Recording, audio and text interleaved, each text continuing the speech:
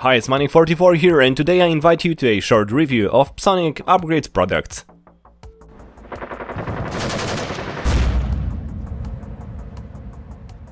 The products for the test were made available by Gunfire. Psionic Upgrades is an Italian company that produces dedicated hop-up buckings, R-Hop sets and arms for hop-up chambers. Their products are characterized by a unique silicon-free mixture used for production, an innovative design of the buckings themselves. The manufacturer is aware that many manufacturers produce their replicas or barrels in their own standard, which is slightly different from other standards, which is why Psionic offers products dedicated to specific companies. Today I will show you a lot of their products, and I will mount some of them in my replicas and see how they will perform. If you're interested in a particular model, the video is divided into chapters devoted to them. Remember, however, that the performance that I receive in my replicas may be better or worse than what you will achieve. So let's start with the buckings that I installed in my replicas, and the first of them will be the CM030 and the Tho-r bucking dedicated to AEP replicas. Each Psionic product comes to us in a small colorful cardboard box, on which, apart from information about the product model, we'll find the information that it's made in Italy.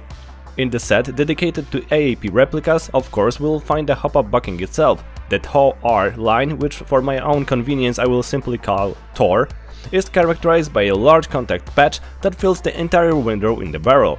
The bucking is made of fairly soft and flexible material. In addition to the bucking, the set includes a piece of self-adhesive sponge that can be glued to the pressure arm in the replica if we need a stronger pressure of the bucking.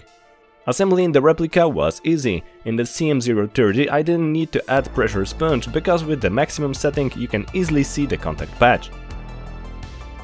Psionic recommends this bucking for performance between 0.5 and 1 joule and BBs between 0.20 gram and 0.25 gram. My CM030 on 0.25 gram Specna Arms HBO BBs generates only about 0.27 joules with the hop-up set. The target I'm shooting at is 60 cm in diameter. I had no problem shooting accurate shots at 20 meters.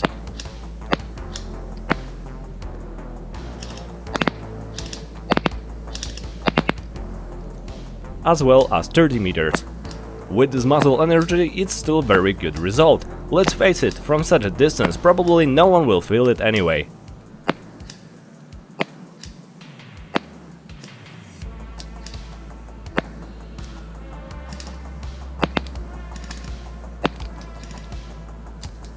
Another product is Matrix X Gen 2 bucking for AEG replicas.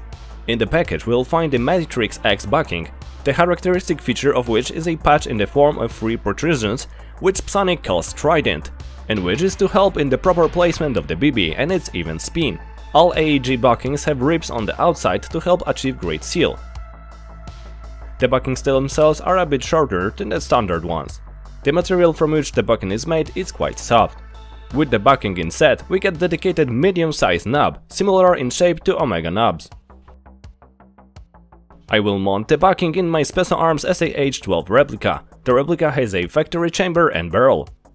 But before I mount the bucking, let's jump for a second to another Psionic product, which is the pressure arm for M4 replicas.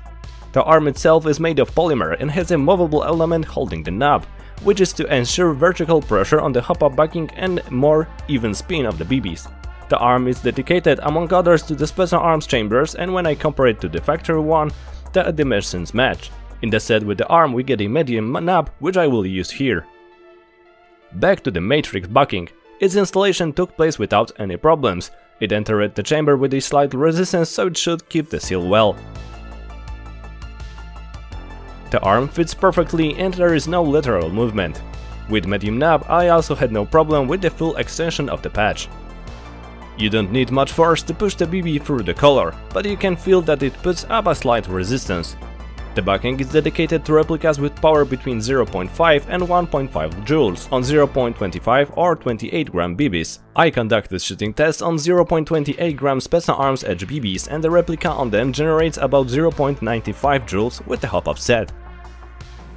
At 30 meters the accuracy is very good and I had no problems hitting the target both on semi and auto.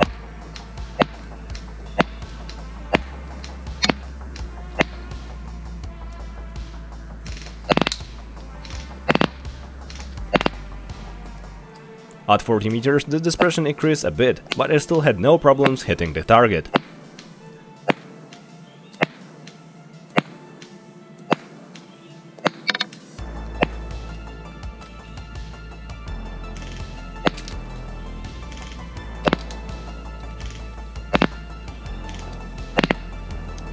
There were a few missed shots at 50 meters, but most hit the target anyway, as I already had to aim at the top of the target, so I didn't see the point of testing at 60 meters.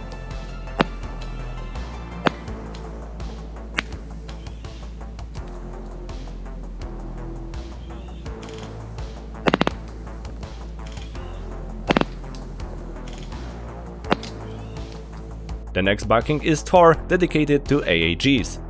The bucking has a characteristic large patch, ribs and it's a little shorter than standard buckings. It's also quite soft.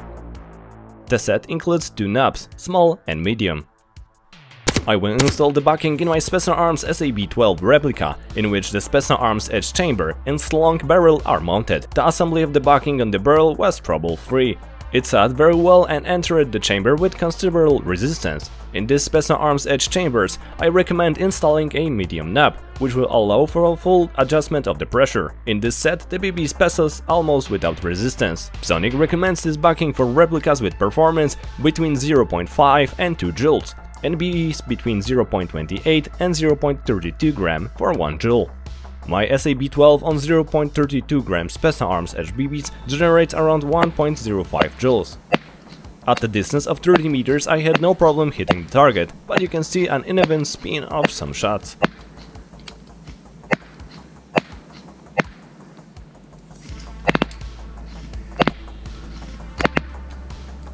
At 40 meters I also had no problem hitting the target. Some shots were a bit more spinned and a bit more spread was visible.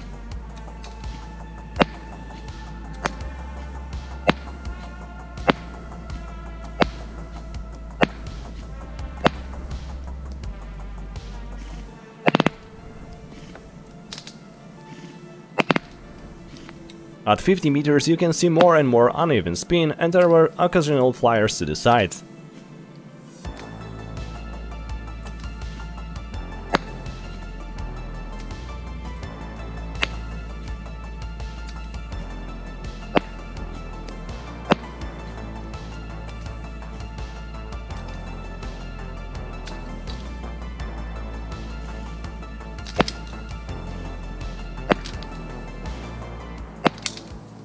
Encouraged by the results at 50 meters, I moved to 60 meters, and from that distance the uneven spin and sideways spread made it much harder to hit, but a few shots landed. So just for over 1 joule, I think it's pretty good result.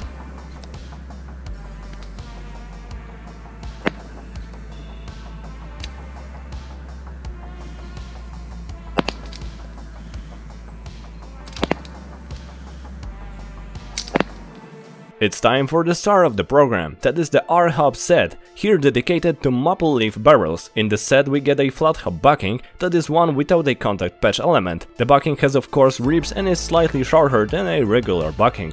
Apart from the bucking, we get a patch for the barrel window dedicated to maple leaf barrels, it's made really precisely. In addition, the set includes two knobs, small and medium, and Kapton tape. The kit is relatively easy to install. We put the patch on the window and check if it sits correctly. As you can see, it's perfect. Secure the patch against movement with Kapton tape and cut off the excess so that it does not enter the groove. Check if the BB passes without resistance and put on the bucking. I will mount this set in the E&L LX74N replica from Essential series. The bucking enters the E&L chamber with a clear resistance on the ribs of the bucking which should ensure seal. I installed a low knob, but the patch is still visible. The BBs pass through the collar with more resistance than in previous replicas, but there were no problems with feeding. Psionic recommends R-Hop sets for replicas with power between 0.5 and 1.5 joules, and BBs between 0.28 and 32 gram for 1 joule.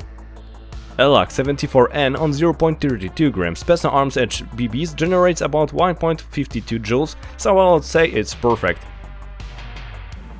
At 30 meters I had no problem with hitting and the shots themselves were characterized by very good grouping.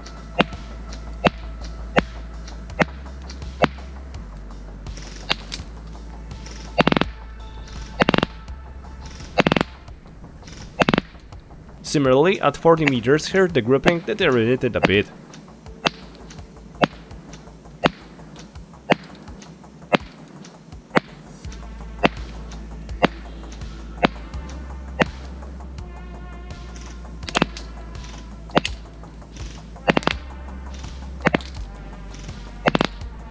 At 50 meters it was a bit worse, I had more missed shots, you can see the deterioration of the spread and sometimes uneven spin of the BBs.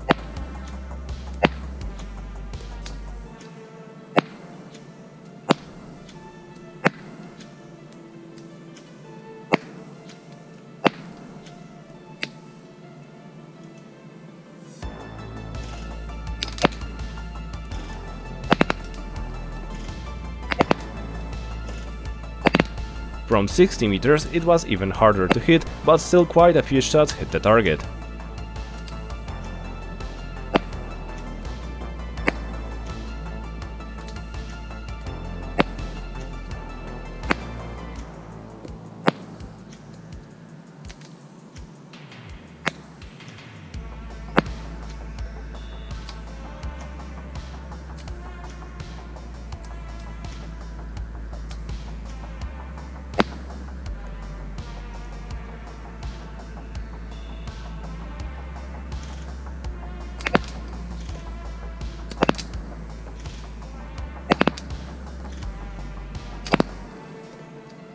I will just add that the set has no problem with spinning very heavy BBs. Here out of curiosity I shot 0.33 gram BBs at 70 meters.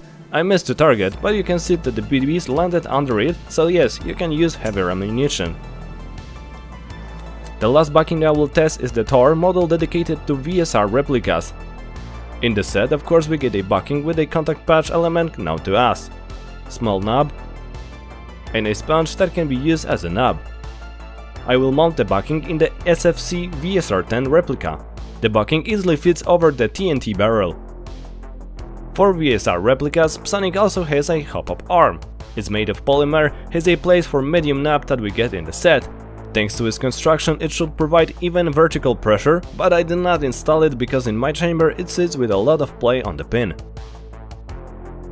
The bucking is recommended for replicas with power between 0.8 and 2.5 joules and BBs between 0.28 and 0.36 grams. My replica on 0.43 gram BLSBO BBs generates 2.8 joules, so a lot beyond the recommended values, but let's see how it works. We start with 50 meters. From this distance each shot hit a target with a diameter of 60 centimeters.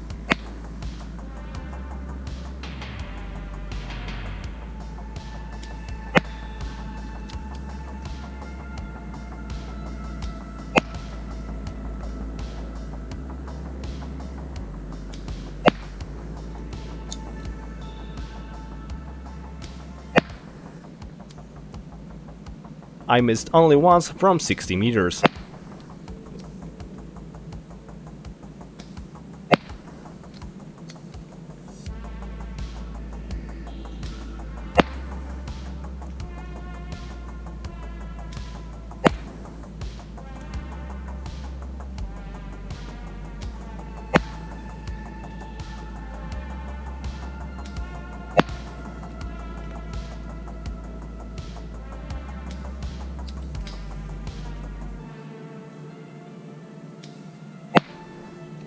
From 70 meters it was a bit worse, but a hit was still not a big problem.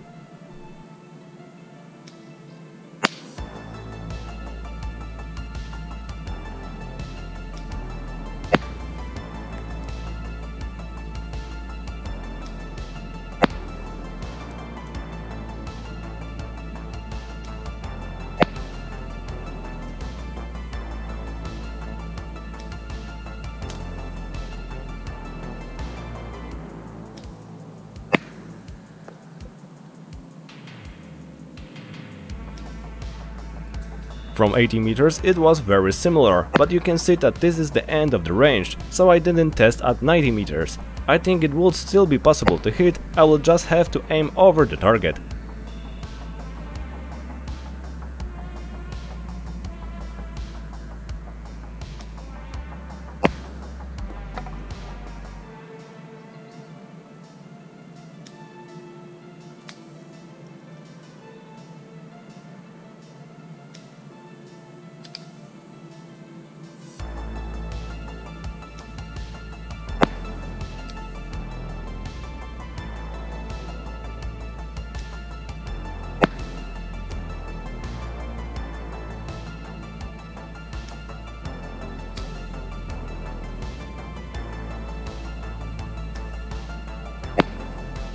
In addition to the buckings that I have now presented to you, Psionic offers among others such models as Thor for GBBR GHK replicas, R-Hop set dedicated to Prometheus BC Bright barrels, to PSS-10 Laylax VSR-10, this set includes two patches, to Prometheus Crytek barrels, to Prometheus EG barrels and some G&G barrels, this set also includes two patches, R-Hop set dedicated to Madbull Black Python barrels, and many other sets that you can see on the manufacturer's website, link in the description of the video. Buckings are also available on Gunfire, to which you can also find the link in the description. What do I think about Psionic products? I essentially like the fact that the manufacturer approached the issue in such detail and prepared products tailored exactly to the given solution. In the sets themselves we get everything we need, including often as many as two knobs of different sizes, which can be useful among others in edge chambers where it is better to mount a higher knob. When it comes to the operation of the buckings, I have nothing to complain about them in the replicas in which I installed them. They worked properly and I had no problems with them and in my opinion they gave completely satisfactory results. In addition to the test that I showed in the material, the Matrix X bucking was also mounted in a fully stock replica, the SAJ08, and I took it for one game where it did very well. About 0.9 joules on 0.30 gram Specna Arms 1 BBs allowed me to hit targets even 50 meters away from me and with a quite good gripping. In my opinion, Psionic products are an interesting proposition especially for low-powered replicas. Both the Matrix model and the Thor at about 1 joule did a very good job in my opinion, and I know that I will definitely use their products in other my replicas. That's all for today. Let me know how you liked today's video and what do you think about Psionic upgrade products, and if you use them, in what replica and how they'd work for you. And for now, thanks for watching and see you next time.